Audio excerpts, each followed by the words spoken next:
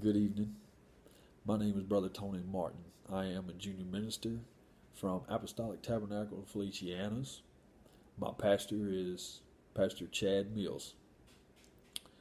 Uh, I want to start off by saying thank you to Pastor Mills for giving me this opportunity to be able to, to do this devotion, to be able to help out in any way that I can during this time.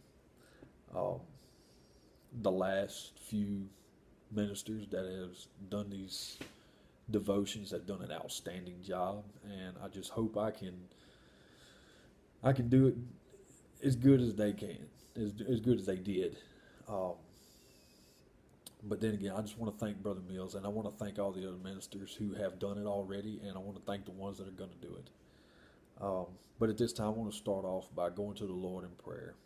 Our most gracious Heavenly Father, we come before you today, God, to say thank you, God, for allowing us to be able to partake of this devotion, God, to be able to to get a word, God, even through this perilous time, Lord. God, I pray for my pastor and his family, Lord, that that he use wisdom, God, that you, you guide them in the right direction, God, in the decisions that they need to make, Lord.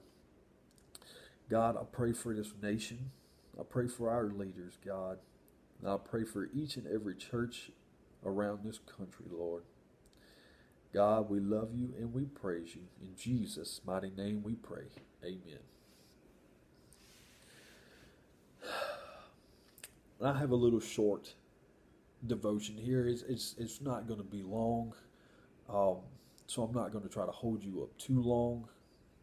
I understand that people get off work late in the evenings, the ones that, you know, the essential workers, um, such as myself, that uh, we do have a lot of stuff that we still have to do after you know we get off work and everything else. So I'm not going to keep you that long this evening.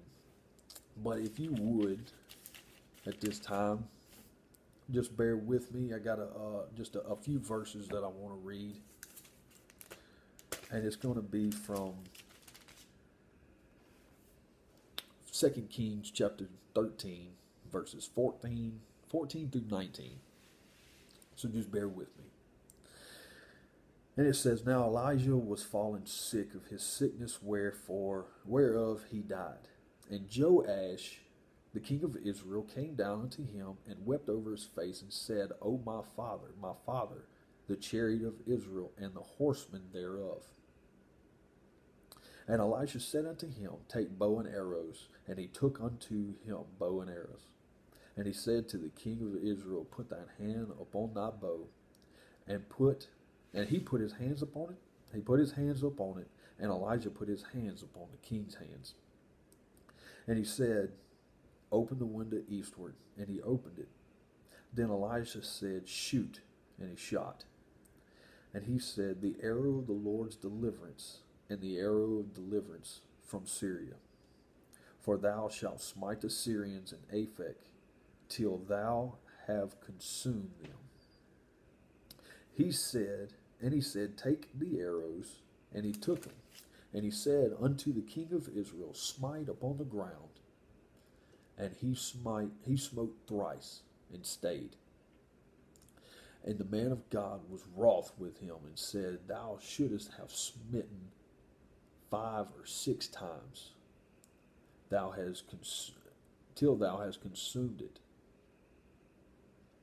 Or then hast thou smite Syria till thou hast consumed it, whereas now thou shalt smite Syria but thrice. As I read this this passage, um, I think that uh, that the king of Israel really yeah, I believe that he followed the his man of God, but uh, I also feel that he didn't give it his all. And as I go back and I read this scripture about how in verse number 16 it says, And Elijah said unto him, Take bow and arrows. and he took unto him bow and arrows. And he said to the king of Israel, Put thine hand upon the bow. And he put his hands upon it. And Elijah put his hands on the king's hands. Right there, that tells me that, that Elijah was fulfilling his job, his his duty, which was to uh, to lead and to guide the the king of Israel as he was supposed to. But as I as I study it and I, and I look it out and uh, I see where it says, you know, God's grace is not tied to one hand. He can bury his workmen and yet carry on his work. You know, to animate the king against the Syrians, he gives him a sign orders him to take bow and arrows to imitate to him that in order to the deliverance of his kingdom from the Syrians, he must put himself in a military position or military posture and resolve to undergo the perils and fatigues of war. God would be the agent, but he must be the instrument and that he should be successful, he gives him a token by directing him to shoot an arrow towards Syria. The king, no doubt, knew how to handle a bow. Um, I feel that the king of Israel has been in war before and that he's no stranger to a bow. He, knows his way around it, you know, so to speak. And and uh, he's he's handled the bow better than the prophet has, better than Elisha. But and yet, because the arrow now to be shot was to have its significancy from the divine institution, as of command from the prophet, put thy hands up on the bow, open the window, and shoot. Elisha was guiding him, was directing him in the way that the Lord told him to direct him.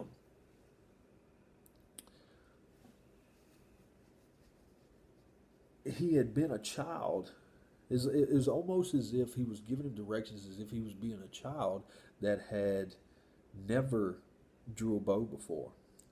So Elijah puts his hands upon the king's hands to signify that in all his expeditions against the Syrians, he must look up to God for direction, for strength, must reckon his own hands not sufficient for him, but go on in a dependence upon divine aid.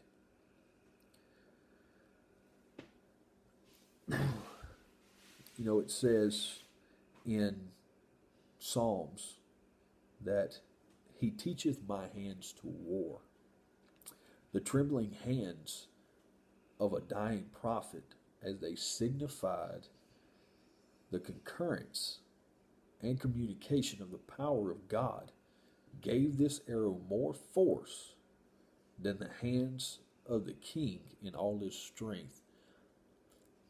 God's anointing, God's power is stronger than anything. God's love is stronger than any two edged sword. It's, it's stronger than anything known to man. Um, but then as it goes on and it talks about how Elijah said, "Take the arrows and smite the ground you know, smite the ground until him until you consume the." He said he took the rulers. No,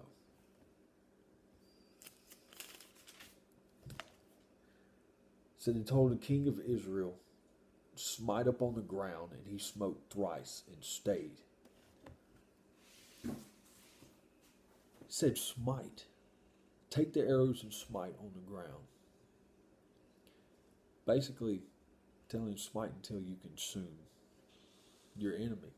So he did. And he only done it three times. and that made that made Elisha mad because Elisha knew he could have he could have smite the ground as many times as he wanted to. But now that since he's only had he only smited the ground three times, thrice, that's the only times that he's going to overcome Syria, and then after that, the Syrians are going to take over.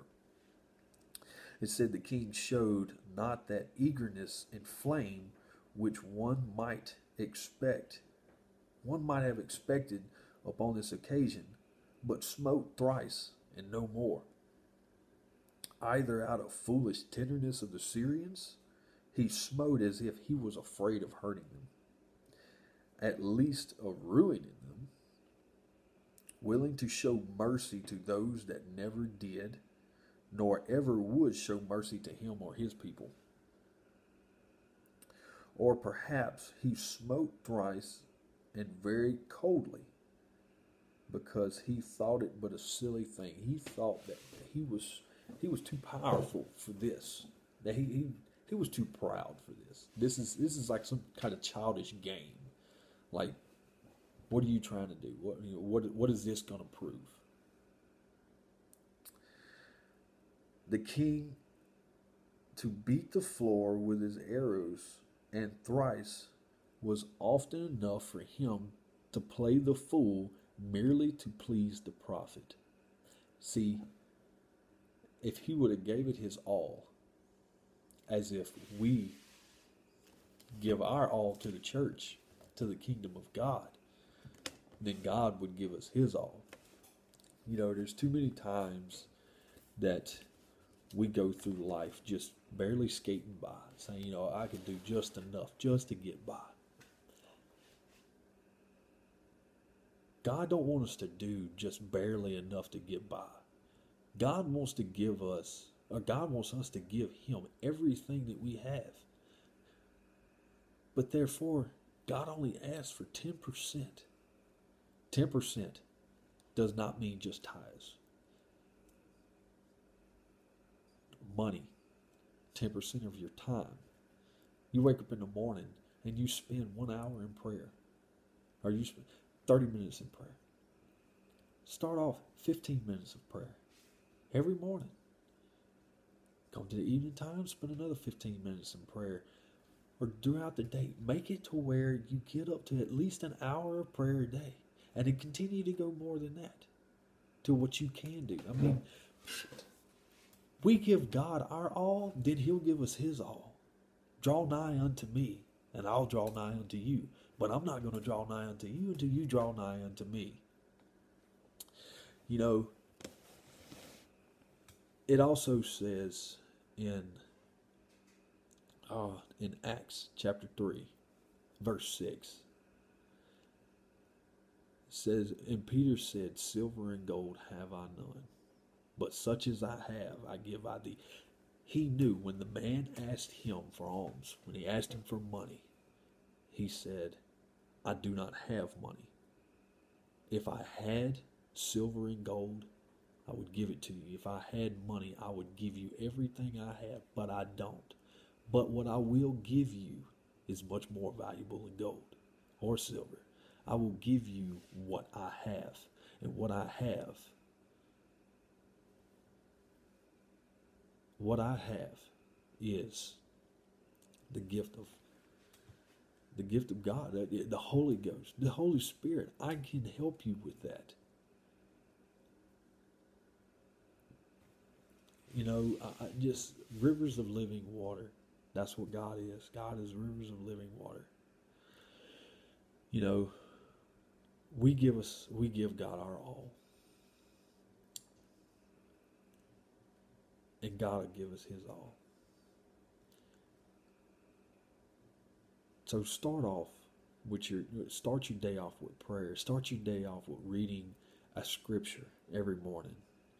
Just to just to get your get your day started with God and you just wait and see. When you start doing that, watch and see just how better your day gets. Now I'm not going to say you're not going to have any trials. You're not going to have bad days as well. But you'll have twice as many good days as you do bad days. So I just leave this with you. prayer is your number one weapon in any battle that you ever will fight. Pray. Because the King of Kings and the Lord of Lords is just waiting to hear from you. Thank you for for taking out your time to to listen to these these few words that I have this evening. God bless you. And I hope your week is great. I hope you have a great week. In Jesus' name.